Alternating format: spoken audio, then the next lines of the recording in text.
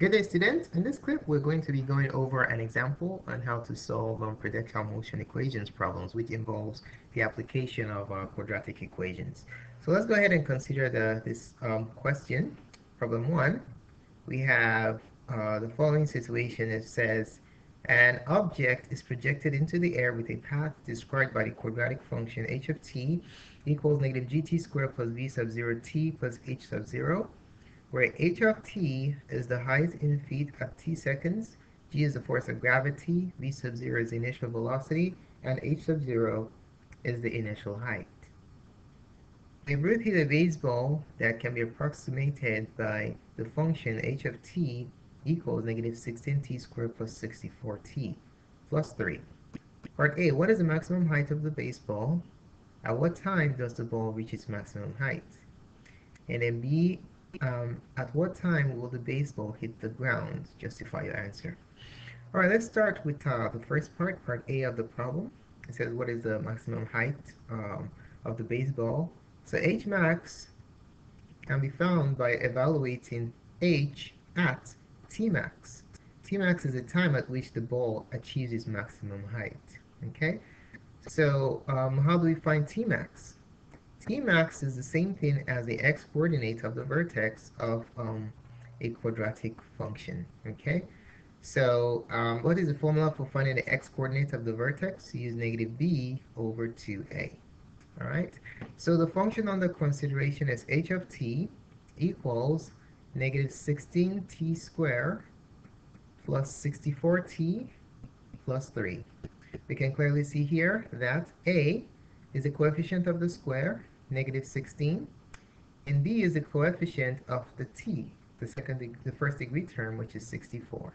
All right, remember the order for a quadratic equation in standard form. This is a, b, c. Okay. All right. So these are the only two we need to compute the um, t max. So the t max, uh, which is the x coordinate of the vertex, uh, can be determined by evaluating the expression negative 64 over 2 times negative 16. Now, all I just did is I substituted a and b into this negative b over 2a formula here. Alright, so using order of operations, let's do let's evaluate the denominator first. We have negative 64 over negative 32.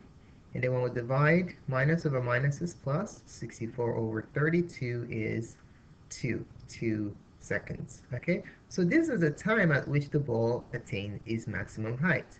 But we want to look for the maximum height also. What was the value of that maximum height? So that's h max.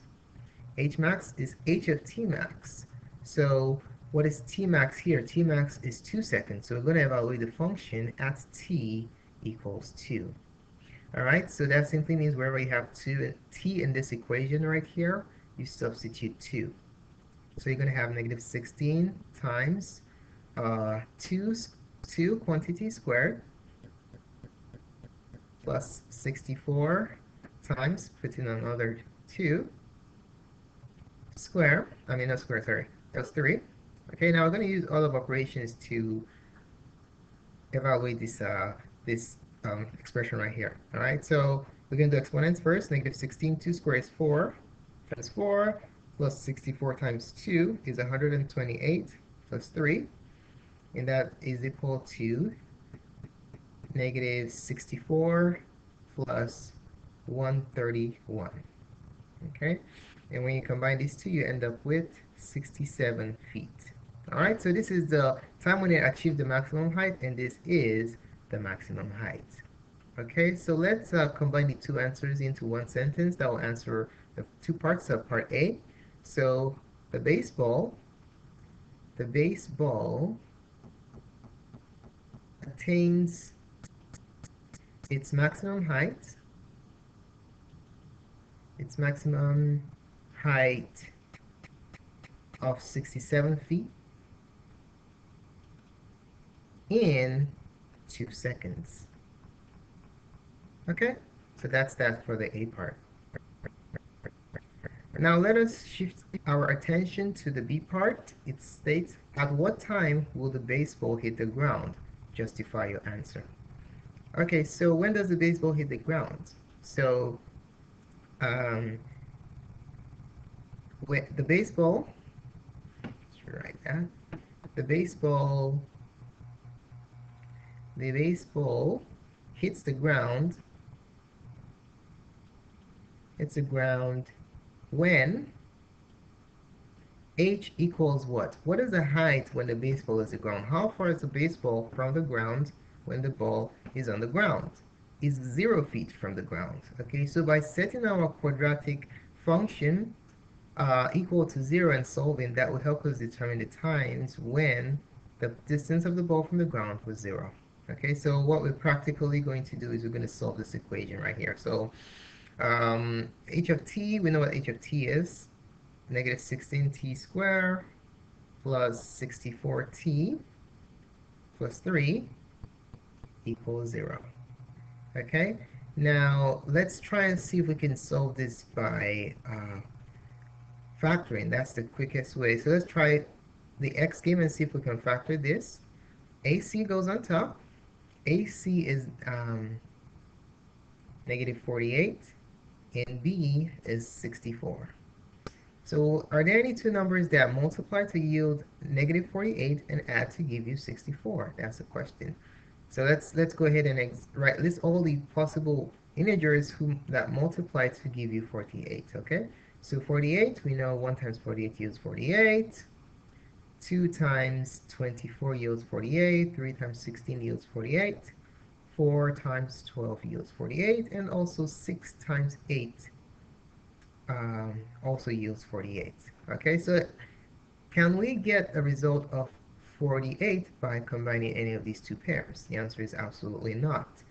Right, this gives us 49 or 47, this gives us 22 or 26, this gives us 19 or 13, this gives us 8 or 16, this gives us um, 2 or 14. So none of them yield 48. So what does that mean? That means that this quadratic equation is prime. So how do you solve the quadratic equation that's prime? We can solve that by either completing the square or using the quadratic formula. Okay, so let's go ahead and use the quadratic formula because that is the condensed version of completing the square. Uh, x equals negative b plus or minus the square root of b squared minus 4ac. This entire expression will be divided by 2a.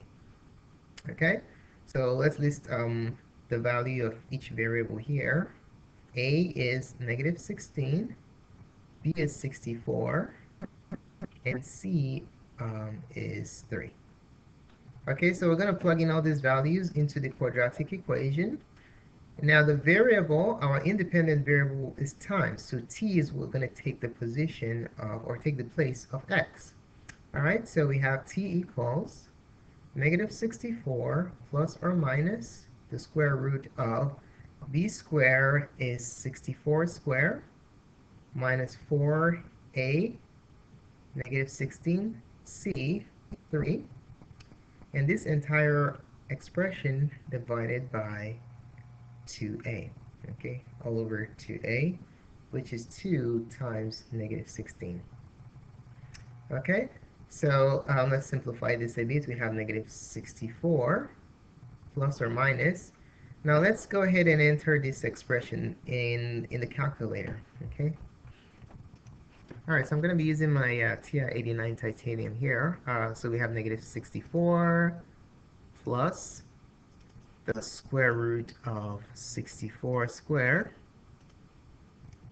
minus 4 times negative 16 times 3. Okay, I evaluated the whole thing. Let me let me evaluate the uh, radical piece first before I show you the final answer. Take away the square root part. Let me make it calculator a little bit bigger. Okay, so um, that's the expression. So we have 4,288. Okay. So let's write that down, 4,288. And then we know that 2 divided by 16 is negative 32. Okay, so we have two potential uh, solutions here. We're going to be using our calculator for, for this one because we're going to be accepting, I'm going to be accepting an approximate answer. So um, T is either going to be um, let's do this this way. T is either going to be negative 64 minus 4288 over negative 32 or it could be square root here or it could be negative 64 plus the square root of um, 4,288 divided by negative 32. Okay, so it could be one of these. Let's go ahead and plug these two options into our calculators and see uh, what answers we get. Okay, so let's do the first one. The first one is um, parentheses, since we're going to be dividing negative 64 minus the square root of 4,288 divided by negative 32. So we have 4.04 or 4.05 to two decimal places. And let's uh, look at the other one. We just change the minus in front of the square root sign to a plus. Okay? And in that case, we get negative 0 0.4, 0 0.046. Okay? So we have t is approximately um, 4.05 to two decimal places or 0 point, negative 0 0.0463. Okay, so let's put this in two decimal places also. So this would be to 0 0.005. All right, these are time measures. So if we look at our two answers, do they both make sense? The answer is no. If you're looking at time, time only travels in one direction, which is forward. There's no such thing as negative time, okay?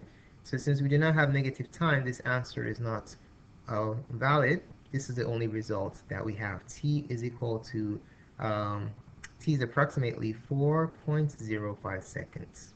All right, so what does this answer mean? It means that um, the uh, baseball hit the ground after 4.05 or you can write it in the uh, exact form negative 64 minus root 4288 over 32 negative 32 seconds. Okay? So that's that's the answer to to the B part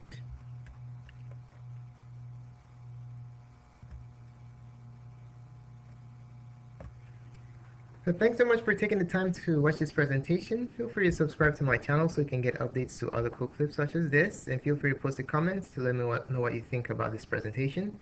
Thanks again for watching and have a wonderful day.